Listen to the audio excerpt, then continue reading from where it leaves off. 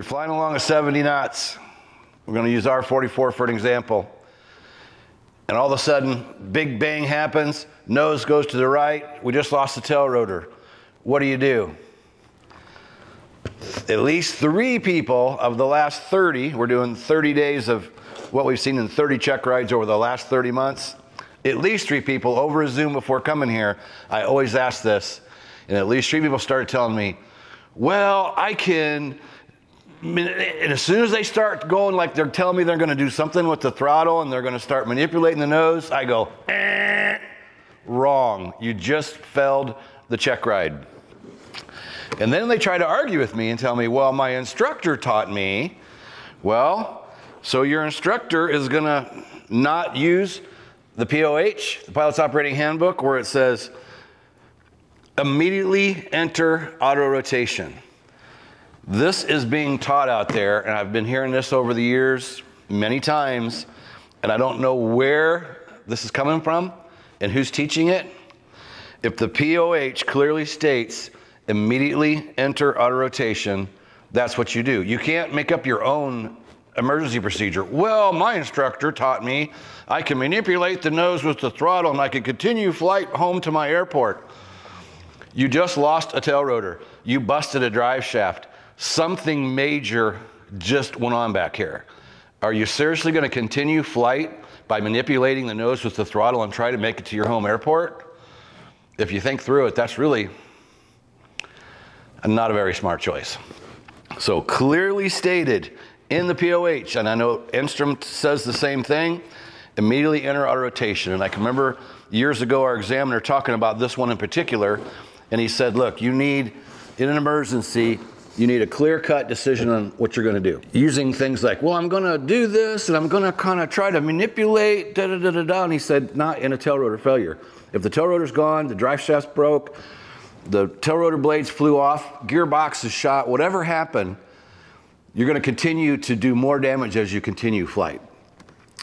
On top of the fact that the POH says immediately enter auto rotation. Now, maybe where people get confused on this it does say, if you go down further, immediately enter auto rotation, maintain at least 70 knots of practical, select landing site, roll throttle into over travel spring and perform auto rotation landing. There is a note. When a suitable landing site is not available, the vertical stabilizers may permit limited controlled flight at low power settings and airspeeds above 70 knots. However, prior to using airspeed, enter full auto rotation. So it's telling you to enter the auto rotation and look for your spot. So yes, if let's say you're over a thick wooded area, but you can see a quarter mile ahead, ahead there's an open field or a parking lot or something like that. Okay, you could pull the power back in and you could fly till you get to that point, and then it's re-enter auto rotation all the way to the ground. And I've had people, and over a Zoom, again, this is one of the first things I ask them because I know that this is a failure. With our examiner, it's 100% failure. And it's interesting how they want to argue with me a lot of the time. And I'm like, do you have a POH handy? Because open it up. And I know exactly what the first line is. Immediately enter auto rotation. Oh, and they'll kind of scratch their head and are you sure? And I'm like, yeah, I'm sure. I know what it says. I've read it enough times. And out of 25 years of doing check rides, I know what the know what the POH says. If you don't know what we're doing, I mentioned it earlier in the video, we're just going to go through things that we've seen in the last 30 months. We've had the R44 for 30 months now. We started what we call the final approach course. We're helping people from around the country finish up a rating. And the reason is, it can be a lot of reasons. It could be, oh, their examiner's out because of a medical issue. Or my instructor just left for another job. They're looking for another instructor. Uh, they got two helicopters, but they're both down for maintenance, which happens. You know, everybody says, oh, get a backup helicopter. Well, guess what? They always break at the same time. So you get a backup and then it breaks as well. Or another big long list of reasons why somebody has gone through their training, they got their requirements done, and for whatever reason, it just keeps getting drug out. Drug out. They can't get a check ride done. We've been using the same examiner for 25 years. He does us a favor and works us in as, as soon as he can when we have somebody. We do a Zoom with you before you come out, make sure your knowledge is where it's at. In, in the event your knowledge isn't quite there, we delay getting you on the schedule. We have you do some more ground training and then get back with us. And when I'm confident that you can show up and in a few days finish this thing up, we put you on the schedule and get you out here. So that's what the final approach course is. We do have, as of this time, we're beginning of October, got a pretty open schedule at the moment. So if you're stuck out there, and I know the people are out there because they've been coming for the last 30 months. 30 people have come here. They've all left happy, and everybody had a story. Everybody had a reason why they just couldn't get finished up. Let's mention John. Lindsay can throw a picture of John. John was a lot of fun, and he traveled out here with his wife. I think came from Texas. R44 owner did a great job. This was kind. Of, it's kind of funny. It's just kind of comical. His FAR/AIM was expired, and this happens a lot. Here's another. We're throwing another one for today. Here's what people do. They have their FAR/AIM all tabbed up. You know, all these nice, neat tabs, and it's all pretty. So they don't want to. They don't want to. They don't want to update when the year changes. So I've had probably at least three people. Again, that number three that keeps popping up. I bet we've had at least three people show up in the last three check rides where they had the previous year FAR/AIM manual all tabbed up, and I'm like, "Is that what you're going to use for the check ride Friday?" And they're like, "Well, yeah." I'm like, "You can't use an expired FAR/AIM on a check ride." And they're like, "Well, why not?" I go, "Because it's expired. You can't use any kind of expired." chart, FAR/AIM. You cannot take expired things to a check ride. So again, something small. And with John, it was kind of fun because he was he was kind of aggravated. I'm like, dude, you can't use that. He's like, I just got done tabbing all that. And I'm like, well, you should have tabbed up a new FAR/AIM, not last year's FAR/AIM. And his wife was happened to be here that day, and I had a new one. And I go, you know what? Here, just use mine, and you can move the tabs over. And he's like, I'm not going to do that. And his wife actually said, just give it to me and I'll do it tonight at the hotel. So I had a new FAR/AIM. I just gave to him, let him use it and let him move the tabs over. That's a good little tip there on you can't show up with expired stuff for your check ride.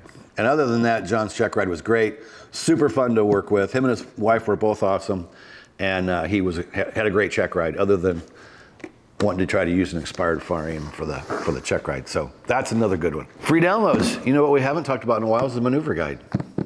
We have a maneuver guide. We'll put that link down below for the maneuvers based off the helicopter flying handbook. Just a simple PDF you can download and look through. And AskHogs.com, we've been talking about this every day, but we're going to keep pushing it because we're in the world of AI now, and we developed our AI over a year ago, a year and a half ago.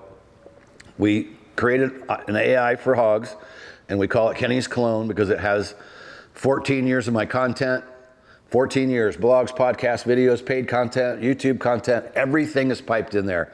Like the series of videos we're doing now, we pipe it to the clone every day because this is a lot of good info that we're putting out that's relative to what's going on in the world now and what's going on in check rides. So all that information, everything we do, everything electronically gets uploaded to the clone.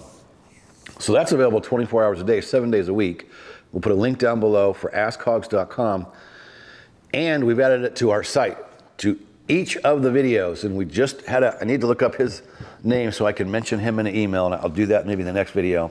But we have a young man that's in now in private pilot, and he emailed me to say, hey, Kenny, I wanted to let you know that as I'm going through the private pilot videos, I love the fact that you have your clone there below each video because I can watch the videos, and then if I have a question, I can just ask your clone, ask your clone. And he said, I've been getting some really, really, really good answers. And I'd say 99% of the time, the clone is dead on, and it gives some wonderful, really, really good info on almost anything you ask it related to helicopter flight and or ground training. So that's now installed inside our site. And uh, Hey, we got another one we haven't talked about yet. Heather just watched a update video from our company that does our online site. Pretty soon we're going to have the ability to have our videos available in a number of different languages. Somebody just the other day made a comment, hey, why don't you do your videos in Spanish? And I said, well, hang on because it's coming. So there's something else new that we'll be working on soon is you'll be able to view our online ground school videos in different languages. So hopefully we'll see that up and running soon. Put your comments down below. Do us a favor, subscribe to the channel. Click that little bell, little bell so you'll know of the other videos we have coming up. Um, again, we're just taking little bits and pieces, things that can be helpful for you.